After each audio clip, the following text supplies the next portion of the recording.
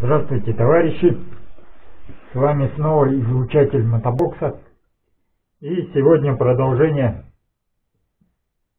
саги про РМЗ, про его двигатель, то есть дальнейшая сборка и сборка цилиндра поршневой группой, там механизма ГРМ. То есть на той стадии, где мы сейчас находимся, это сборка сцепления. То есть есть тут такой нюанс. Есть специальные приблуды для фиксации корзины и затягивания этой гайки. У кого нет этой приблуды и нету гайковерта, знает, что очень большой геморрой открутить вот эту гайку и потом как положено затянуть. То же самое, ну тут поменьше, тут можно как бы это, гайка, которая коленвала, приводная, привода помпы и привода корзины коленвала. То есть то же самое. Ну то есть ее я уже затянул, уже говорил об этом, тут левая резьба на приводной гайке, которая коленвала. То есть это надо учитывать, когда откручиваете, закручиваете, чтобы не, не, не тянуть ее ни в ту сторону.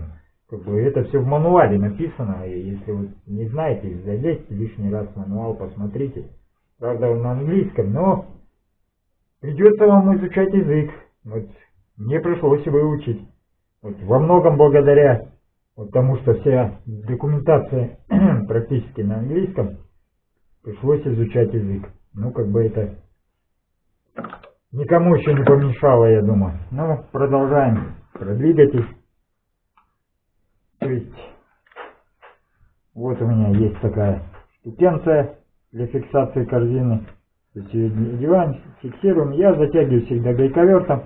Предварительно фиксатором также смазали на всякий случай. Тут есть еще стопорная шайба уже фронтовая. Ну, как бы, ничего там такого сверхъестественного нет.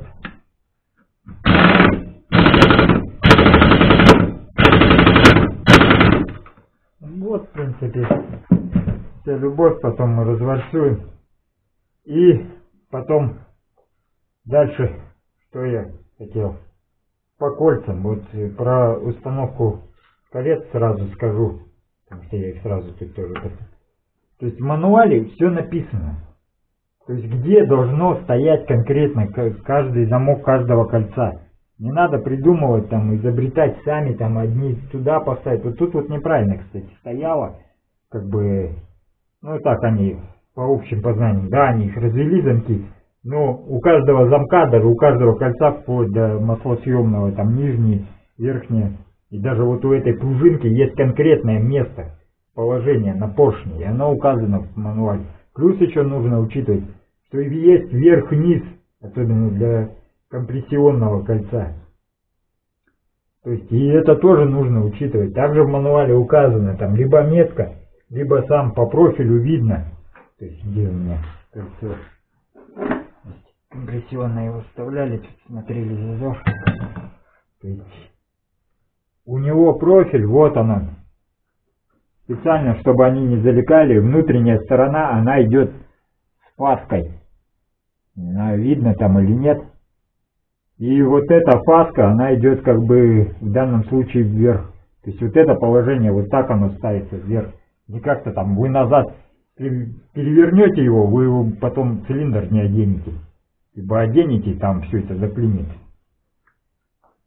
То есть то же самое по замкам. Тут вот конкретно указано в мануале, где должен стоять замок первого кольца, замок верхнего кольца маслосъемного, замок спейсера пружинки маслосъемного и замок нижнего кольца. То есть все это указано. То есть сейчас э, даже скажу, первое кольцо должно стоять вот четко назад, потом верхнее кольцо маслосъемного да, четко вперед, э, спейсер, пружинка, то есть должна стоять вправо, грубо говоря, вот так вот четко. И нижнее кольцо, так же, как и первое компрессионное, четко назад. То есть все написано, не надо придумать. Также вот по пружинке. Тут э, указано, как она заходит в зацепление, потому что разные кольца по разных моделях там по-разному есть. Есть как бы у нас обычно вообще вот так вот стык их ставили и все, и потом заплющили ее, зажало, и как бы так и ездят. А на самом деле там есть даже принципиальная разница, где, как она, тут даже указано вверх-вниз, тут видно по замку, как она, у спейсера тоже есть вверх-вниз. То есть это все учитывать надо. Конечно, не у всех моделей так одинаково. У кого-то есть, у кого-то нет, но это вот мануал для того и нужен. Даже вот я вот сколько их поразбирал, я не помню все двигателя, вот прям все точности, нюансы. Вот мне, чтобы лишнюю информацию из головы каждый раз не доставать, можно ошибиться. Я беру мануал и проверяю все по нему. То есть это вот, когда мне рассказывают там про чудо механиков, которые все помнят, все делают чисто из памяти, ну как бы тут два варианта. Либо он занимается какой-то узкой специализацией, у него одно, все время одно и то же, и он, либо у него, блядь, феноменальная память, вот я как бы это понять не могу. Что он помнит по всем там, по квадроциклам, по красочам, по индурикам, по, там, по спортам, все помнят зазоры, все размеры, я что-то сомневаюсь я таких. Ну, по крайней мере, я таких не встречал. Либо есть у нас такие, да, я все знаю, все умею, они делают примерно по одному алгоритму и применяют весь алгоритм к, к абсолютно всей технике. Что, как бы, на мой взгляд, вообще это ну, недопустимо. Тут есть свои нюансы. Вот то же самое с КТМом.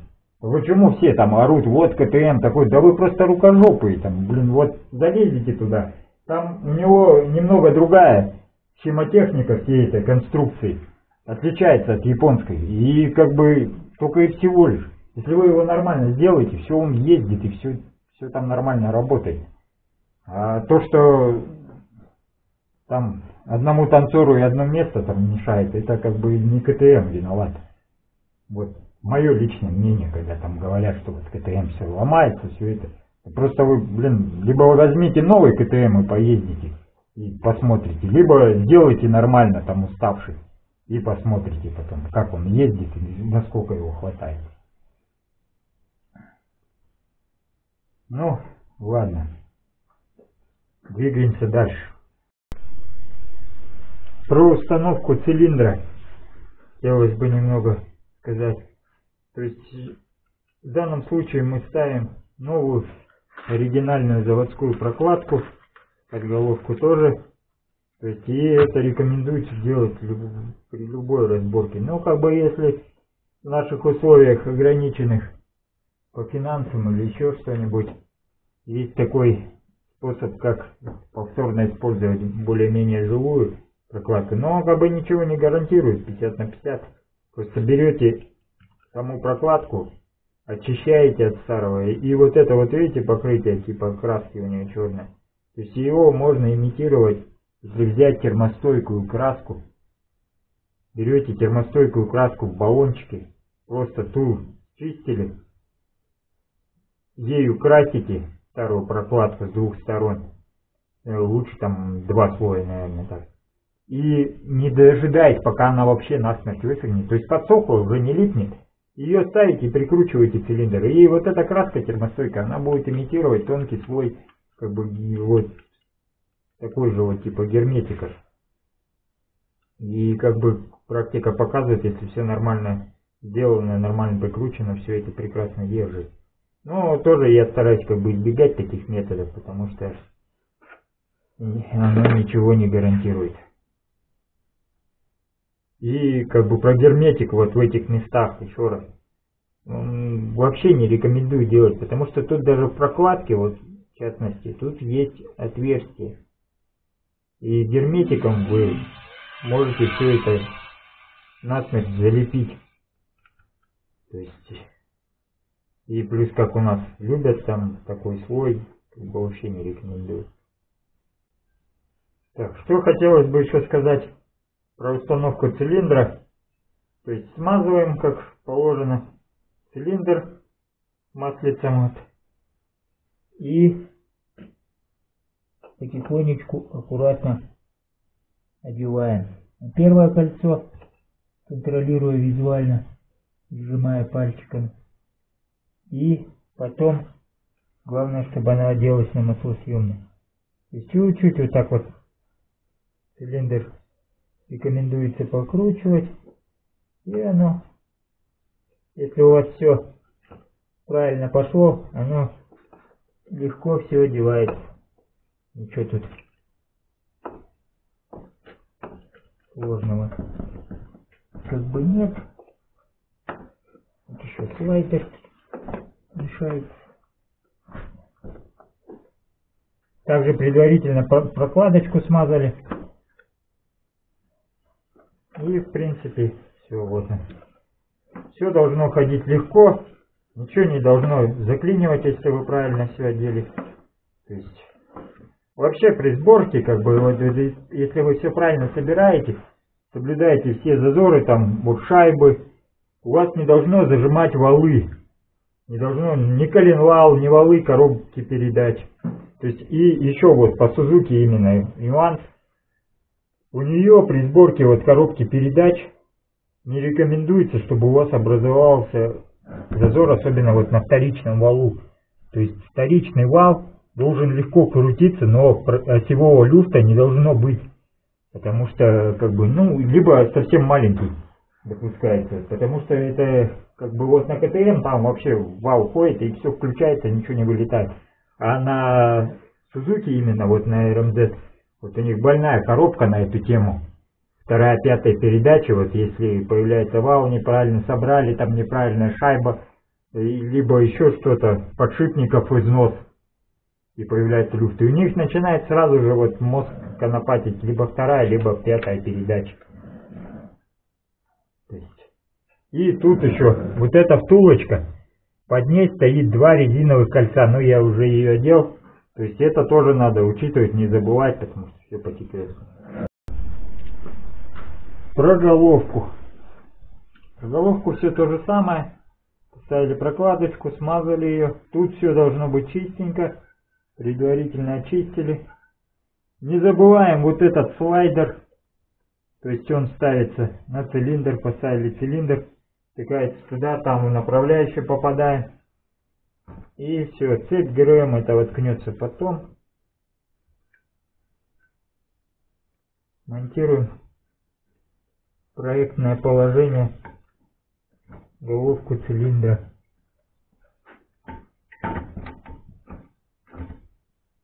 Тоже все смотрим.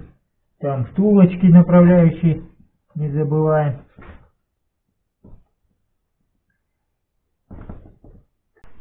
Про затяжку болтов головки, что хотелось бы сказать. Затягивается она в два захода крест-накрест стандартно. То есть э, первый заход 25 ньютон-метров, все указано опять же в мануале. Второй заход, окончательный, финальный, 50 ньютон-метров. Берете динамометрический ключ, у меня электронный, ему интересно, и все затягиваете. Я как бы уже затянул, ничего тут такого сверхъестественного, наверное, нету, так что не буду об этом подробно рассказывать. Но то, что он нужен, динамометрический ключ, это факт. Особенно в таких вот ответственных местах. А то потом будете гадать, что у вас там побежало или что мы сорвали резьбу вдруг. Продолжаем наше вещание. И уже добрались до стадии установки распредвалов и меток ГРМ. То есть крышечку поставили, генератор уже, ротор поставили, все, статор в крышечке. Первое, что нужно сделать, это поставить коленвал, соответственно, поршень, верхнюю мертвую точку этой. Не знаю, видно там. Вот они метки. Вот она. Грубо говоря, сейчас так подержу. Я обычно вешаю трещотку, она как бы уравновешивает балансиром. Но тут пришлось двигатель развернуть, чтобы вам показать на свет. И, соответственно, метки на распредвалах. Вот одна по краю среза крышки клапанной. И вот вторая. И, соответственно, вот видите, еще сверху есть метки. Сейчас отпущу клинок. Есть метки. Вот они. Вот это вот. Одна. И тоже вторая. То есть выставляем распредвалы вот по этим крайним, чтобы они были по срезу. Плюс еще надо учитывать, чтобы у вас цепь не провисла, считать. В мануале это все есть. То есть 13 звеньев. Вот, начиная от первого, то есть не звеньев, а пинов. Один пин, два, три, четыре, пять, шесть, семь, восемь, девять, десять. И, короче, одиннадцать, двенадцать, тринадцать. И вот получается тринадцать, тринадцатый пин должен выходить ровно на метку, чтобы у вас не получился тут провис. Это все надо учитывать. То есть, когда уже вот так вот поставили, соответственно, тут меточку смотрим, чтобы она не уходила, то на, вот нет у нее никакого желания стоять в верхней мертвой точке, она ее постоянно хочет проскочить либо туда, либо сюда. То есть... И плюс еще что хотелось бы сказать. Когда вот вы все вроде поставили, Сделайте проверку. Надавите на натяжитель. Вот где у вас натяжитель стоит, надавливаете. И смотрите, цепь, чтобы натянулась, и у вас ничего не должно измениться. Вот тут вот, в данном случае, вот в этом двигателе, я когда разбирал, распредвал впускной, был чуть-чуть провернут на один зуб, то есть он неправильно стоял. Из-за чего это возникает? Вот как раз возникает, потому что не считали либо тут э, пины, либо тут посчитали, но когда ставили, не учли провис цепи, то есть провис сделали в этой, с этой стороны, не, не сделали проверку, когда вот так. То есть собрали тут, натяжитель ставили и все. Из-за этого горький катаклизм. То есть по натяжителю что, то есть убираем пружину, взводим его в обратное положение. В таком положении сюда прикручиваем. Потом только вставляем пружину и закручиваем. Ну и в принципе и все. То есть, а, ну изначально еще постели надо поставить. По постелям. То есть э, тут все смазываем. Тут я уже смазал. Когда ставил маслом, все сма... обязательно смазываем маслом. Все посадочные крутящиеся места – для чего это надо? Для того, чтобы вы первый раз, заводя, у вас сразу же не задрало постели, потому что какое-то время будет двигатель работать, э, если вы не смажете, не, не подадите сюда масло нужное количество на сухую. То есть зачем это надо? Как бы не, не надо, потому что пока масло, насос прогонит всю эту систему в двигателе то, только что собрано. То есть все это смазываем. То есть прикручиваем Опять же, еще по закручиванию. По мануалу, все по моментам. Вот эта вот вещь вообще важная. Постели их нельзя не дотягивать и нельзя перетягивать. Тут нюанс тоже такой. Вот эти вот места, головка, затяжки, затяжки распредвалов, все это по, по динамометрическому ключу соответствии с ньютон-метрами, которые указаны в мануале. Ну, все, в принципе, готово. Двигатель практически собран. Эту крышечку я не стал ставить, потому что, как бы, забыл еще сказать про то, что когда собрали механизм ГРМ, надо проверить обязательно зазоры клапанов, то есть на всякий случай, как бы всегда их нужно проверять, тем более на красоче. Потому что это тут такая штука опасная довольно-таки. То есть и самое главное, что надо проверять минимальный зазор, чтобы был зазор хотя бы как минимальный по мануалу. То есть побольше это ладно, не так, не, не так страшно, как, как минимальный. То есть, и, чтобы их не зажало, чтобы они не прогорели, там не отпали, или еще что-нибудь, там седло не выпало, такое тоже бывает. Да и вообще, как бы, как правило, он просто тупо перестает заводиться на горячую сначала. Ну, есть упорные товарищи, которые могут и такой аппарат завести и потом удивляться Сталинграду. И что у нас? Тут все установлено. Как бы там остался масляный фильтр.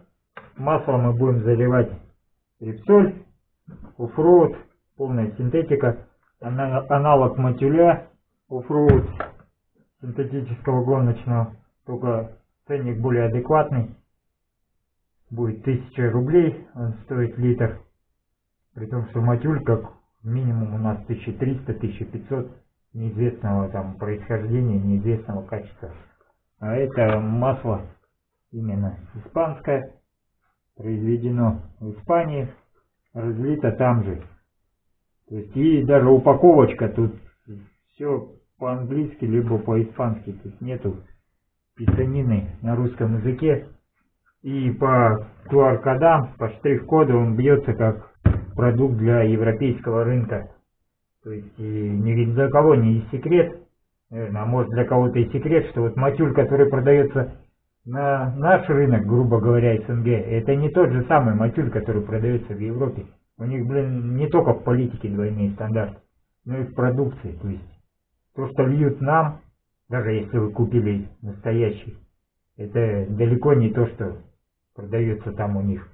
А это масло именно специально поэтому убралось, что она разливается всегда на одном заводе и не отличается у него по рынкам. То есть она идет для всех рынков стандартная.